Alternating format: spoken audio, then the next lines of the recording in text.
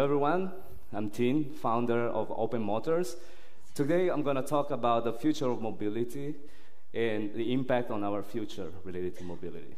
So, I'm going to divide this in three parts. What's happening right now, how the car of the future should be, and how we can get there. So, what's happening right now?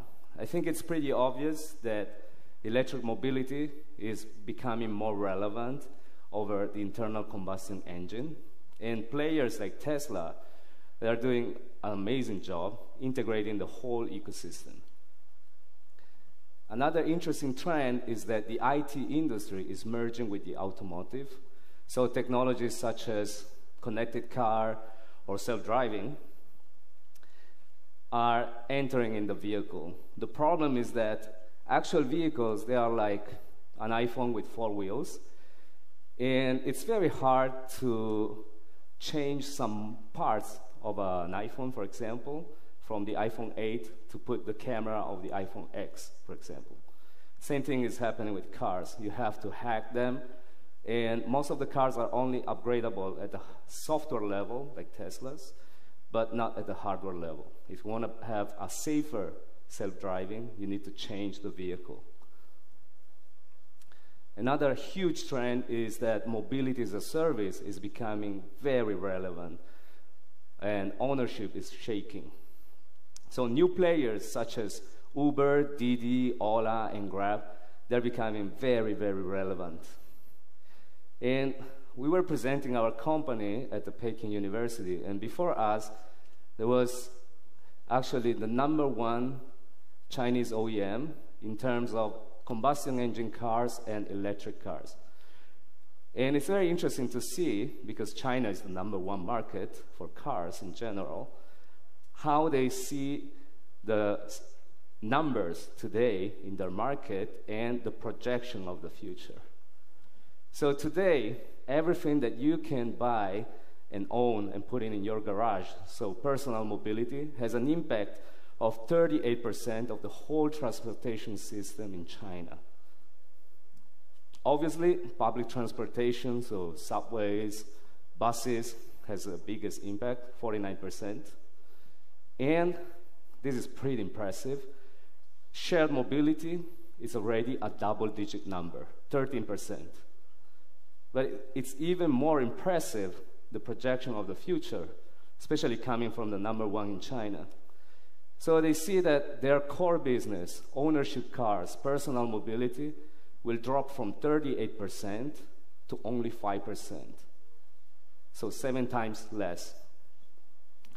Public transportation, since they, most of them have a fixed route, so they're not very efficient, will also reduce to 30%.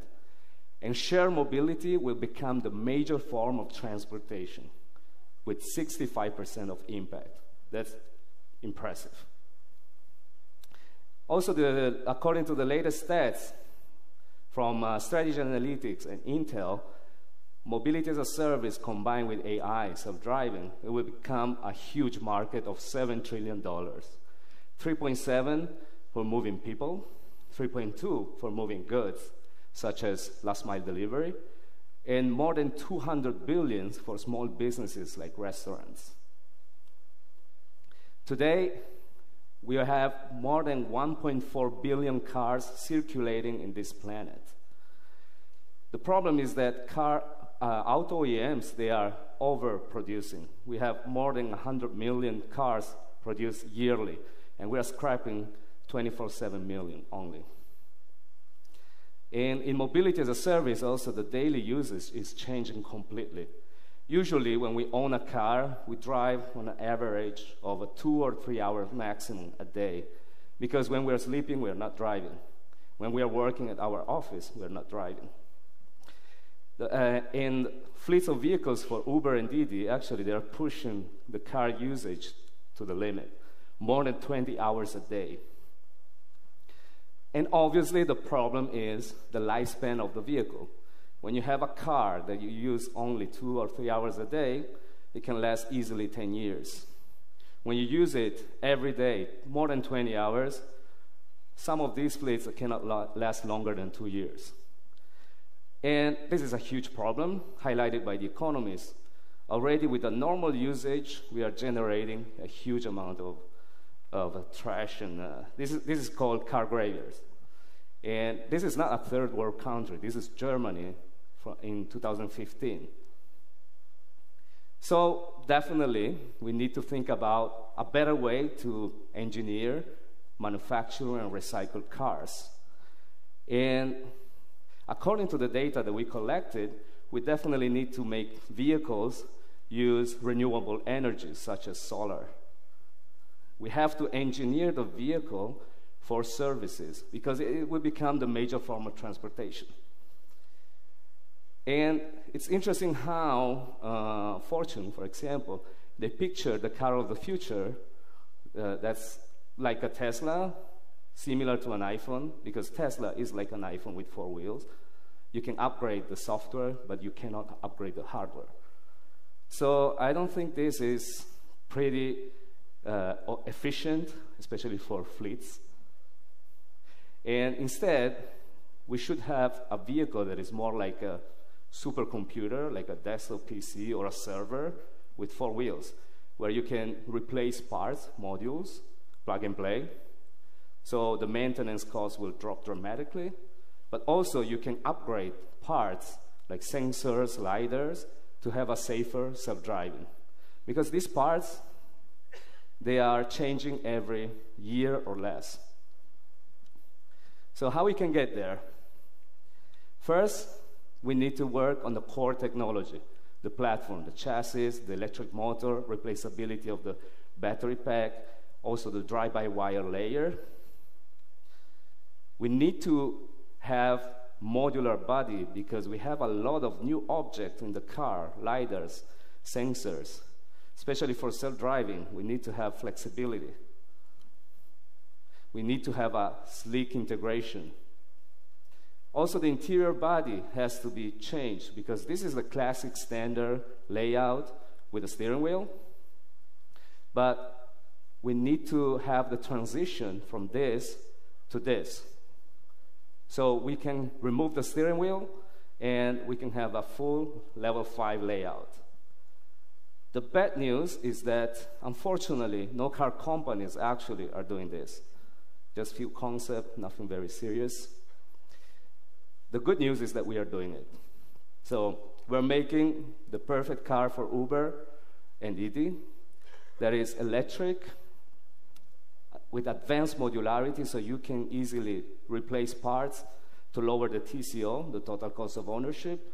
And also, we are the only car company allowing hardware upgradability, plug and play, for new technologies. And we have the flexibility to buy cars with level zero autonomous driving, and you can upgrade through the years up to level five. And here's a short video of what we're doing.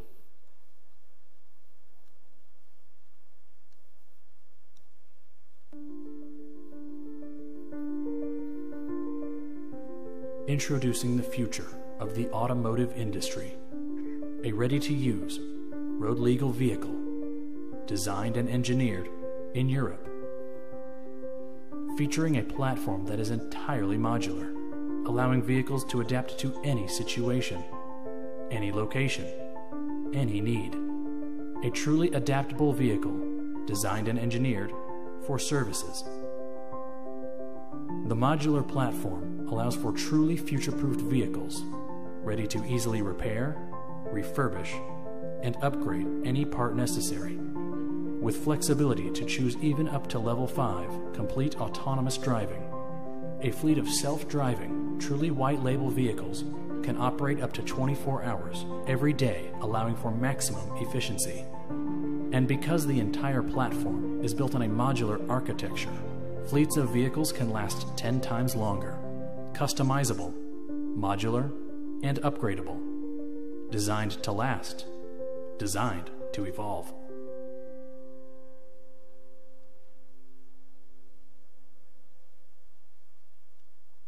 Did you like the video?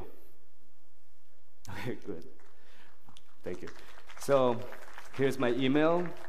If you want to join the next chapter of New Mobility, feel free to contact us. We are hiring and we're raising money. Thank you.